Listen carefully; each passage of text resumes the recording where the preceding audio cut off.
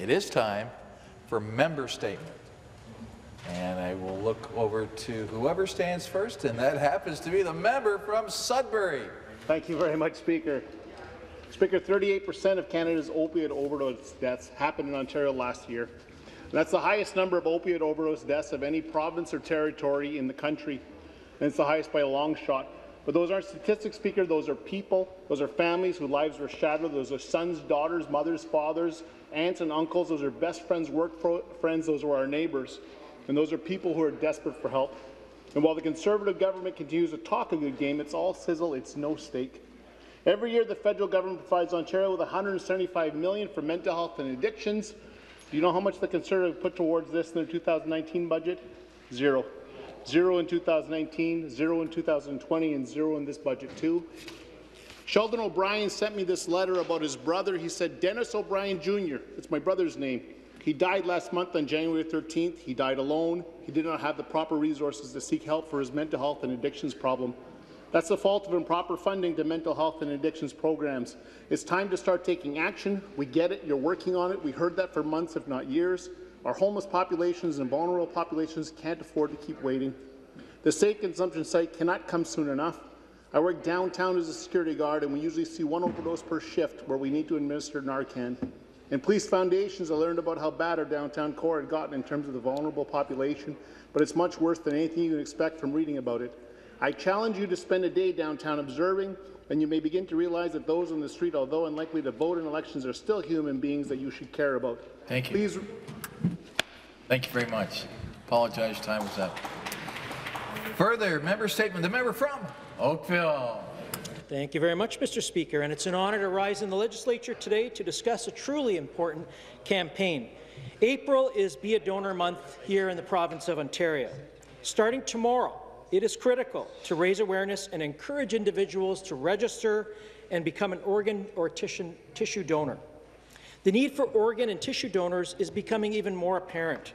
There are almost 1,600 Ontarians currently on a wait list for a transplant. Currently, there are more individuals on a wait list than there is organ availability. Sadly, every three days, somebody in Ontario dies a preventable death while waiting for a transplant as a result of limited liability. Since April 1, 2020, registrations for organ and tissue donations in Ontario have decreased by more than 50 percent versus the same time a year ago. I cannot stress how important it is to being a donor and the impact on other people's lives. One organ donor can save up to eight lives and enhance the lives of 75 individuals. I want to clarify any potential misconceptions there are about registering to be a donor. Everyone has the potential to be a donor, regardless of their age, medical condition, or sexual orientation. April 7th is also National Green Shirt Day. Green Shirt Day was inspired by Logan Boulet, who was one of the Humboldt Broncos who tragically passed away. Logan, a registered donor, saved six lives. In his memory and to the champion organ and tissue donation, I encourage everybody to wear green on April 7th. Thank you. Thank you. Member statements. The member for Scarborough Southwest. Speaker, this is the sixth day that Ontario has seen over 2,000 daily cases. Today is the highest. We're now into a third wave, which is projected to be far worse than we have had we have experienced so far. There are over 1,100 schools with reported COVID-19 cases and 58 schools which had to close down as of yesterday. Parents, families, children, and youth are facing an incredible amount of uncertainty. The government had more than a year now to prepare for what was coming. They had the opportunity to invest in safer learning environments for our children, but chose to do otherwise. I recently heard from a constituent, Donna, who is mom, who is a mom to a 15-year-old. Kids had, has, have been pivoted and bounced around a lot during this pandemic, she shared, as she continued to tell us about how difficult it is to see her teenage son not have the opportunity to take a break. Students are facing burnout and an unprecedented amount of mental health strain as they faced, uh, as they have to consistently switch between learning methods and see their safety and well-being undermined. In the wake of yesterday's confusing back and forth between the Premier and the Minister about whether or not to postpone the March break, uh, Donna, like many parents, are frustrated with this government and their inability to provide clear messaging for students and families. Parents are worried, worried for the safety and mental health of their children as they navigate this pandemic. Mr. Speaker, it's time this government prioritizes education for the sake of families across this province and takes responsibility for parents, kids, and education workers so that they're not left behind. Thank you, Mr. Speaker. The next member statement, the member for Mississauga Lakeshore. Thank you, Speaker. Recently, I was honored to join the Minister of Infrastructure, along with the Federal Minister of Infrastructure and Communities, Catherine McKenna, and the Federal Minister of Transportation, Omar Alghabra, and the Mayor of Mississauga, Bonnie Crombie, to announce a joint investment of over $158 million in a modern public transit infrastructure for the people of Mississauga. This includes $56 million for a new two-way bus rapid transit corridor along Lakeshore Road in Mississauga Lakeshore, with three new stations between East Avenue and Delta Road, and connecting to the GO transit network, the Hurontario LRT, the TTC, and pedestrian and cycle network. Together, we're building a modern and accessible interregional transit system that will support our growing population along the Lakeshore Road corridor with 20,000 new residents in Lakeview Village on the site of the former coal plant and 8,000 new residents in Brightwater on the site of the former Texaco refinery, it is critical that we build the transit infrastructure we need to support this growth, both for our economy, recovery, and for the community's future. Speaker, this announcement is also a great example on what are we are able to achieve when we are working in partnership with the federal government and the municipality. So I'm looking forward to continuing working together, both as, as we respond to the impact of COVID-19, as we lay the groundwork for our recovery, and for a stronger, better, and more progressive Ontario. Thank you. Member statements. The member for Niagara Centre. Thank you, Speaker. Many seniors in Niagara in their 70s have been patiently waiting for over a month to receive their vaccine. On the weekend, those over the age of 70 were told by the province that they could finally book an appointment. But on Monday, when the opportunity arrived, they found only disappointment. Dozens of seniors could not book online and could not get through on the hotline. Those that got through were told that there were no vaccines in Niagara and they didn't know when they would be there. My office was flooded with calls from people like Angie Demarais from Port Colborne, who said she spent all day on the website making phone calls. She says seniors have transportation and mobility issues, and this system makes things even more confusing. Another senior from Port Colborne said she was offered an appointment at the Toronto Metro Convention Centre. John Neely was told to just keep calling every day. There were no vaccines in Niagara. Mass confusion, Speaker. The Chief Medical Officer of Health stated he wasn't confident that there would be enough vaccine to vaccinate the 70 to 74 age group, and Public Health could only say that they were working with the province to let them know the issues and working to try and figure out what had happened. This government had months to organize, Speaker. It is extremely disappointing that this system is having so many issues and is so unfriendly to seniors who are trying to protect themselves and others by following the rules and attempting to book their vaccine appointments, but are unable to because this government has not organized the system properly. We must do better for our seniors and their families who have already endured so much throughout this pandemic. Thank you. The next member statement, the member for Ottawa South. Thank you very much, Mr. Speaker. And April is Be a Donor Month. And next Wednesday, April 7th, will be Green Shirt Day. We won't be here. I want to remind all my colleagues to wear a green shirt next Wednesday. And Green Shirt Day is, of course, in honour of the late Logan Boulet, whose organ donation saved six lives and inspired 100,000 donor signatures. Almost 1,600 Ontarians are on a wait list.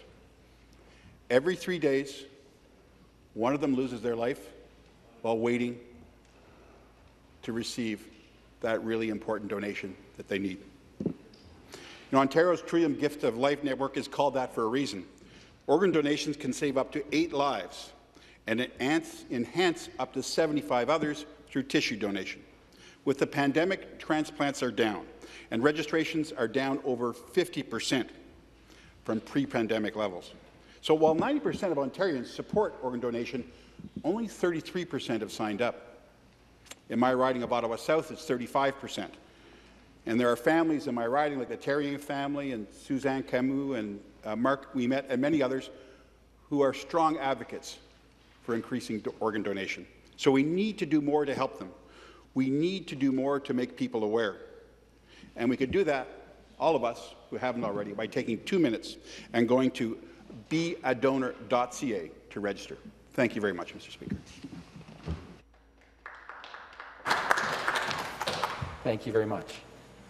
The next member statement, the member for Etobicoke Lakeshore. Thank you, Mr. Speaker. And I'm elated to rise this morning to share groundbreaking news from my riding of Etobicoke Lakeshore.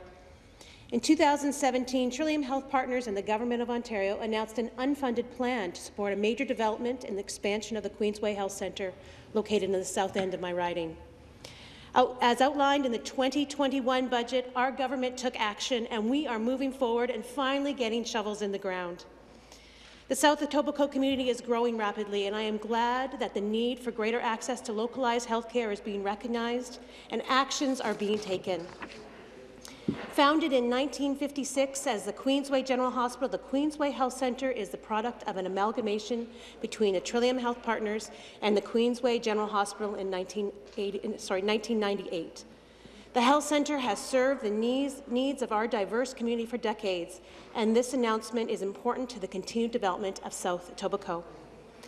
The Queensway Health Centre expansion will include the creation of a modern post-acute facility and a complex continuing care and rehabilitation patients to receive care and recover in a purpose-built environment as well as a new parking structure. Trillium Health Partners is Canada's largest hospital with over 1.7 million patients visits annually and more than 277,000 vi visits per year to the emergency department and urgent care centre. Over the next 20 years, no hospital in Ontario will experience more growth in demand for services than the Toronto, uh, the Trillium Health Partners Hospital. Thank you to the Government of Ontario. The next member statement, the member for Parkdale High Park. Speaker, people on social assistance are increasingly forced to make do with less. A disabled person on Ontario Disability Support Program is expected to live with an income of $1,169 per month to cover rent, food, utilities, and all other basic necessities. The rate is even lower for a person on Ontario Works who is expected to cover all costs of living with only $733 per month. Social assistance rates fall well below the poverty line and have remained stagnant despite skyrocketing housing costs, inflation, and increasing prices of basic necessities. Speaker, people on social assistance have been ignored for decades by successive governments, both Liberal and Conservative, and even ignored during the pandemic. Through the federal CERB program, we know that $2,000 per month is the minimum that people need to survive. Yet, when the government announced the budget last week, there were no rate increases to either ODSP or OW. In fact, poverty was not even mentioned once in the budget document. At a time when it is more important than ever to ensure that no one is left behind, the government is turning its back on poor and disabled people. The government claims that the budget aims to protect people's health and Ontario's economy. But without providing long overdue rate increases, this budget cannot achieve either goal. I call on this government to listen to Ontarians, to increase rates and directly support people on ODSP and OW. Thank you.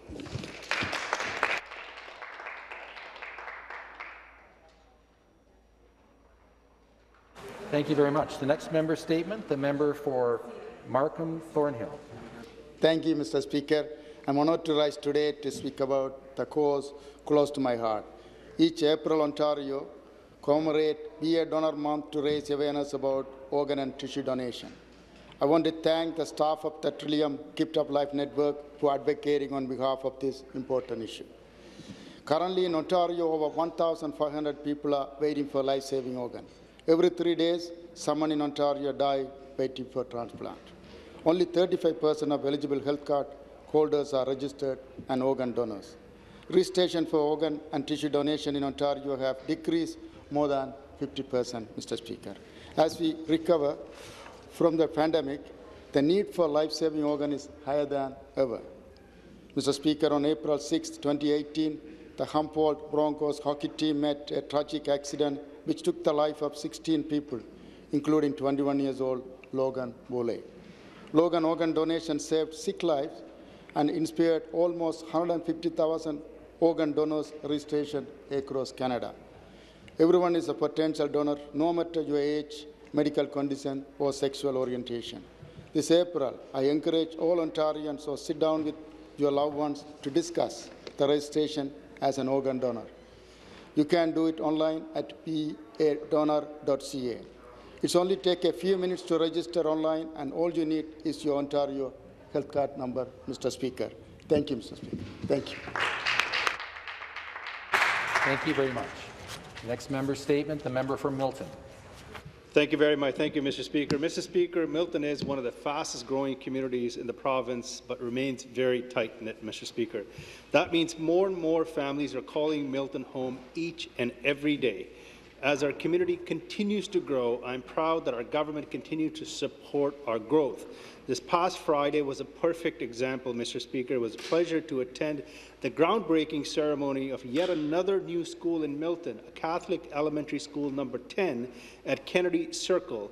I was proud to be joined by the Minister of Education, our longest-serving mayor in the country, Mayor Krantz, councillors Mike Cluett and Rick Di Lorenzo, and our two Catholic board trustees, Marvin Duarte and Patrick Murphy, and also the Director of Education for the Catholic Board, Mr. Speaker, Patrick Daly.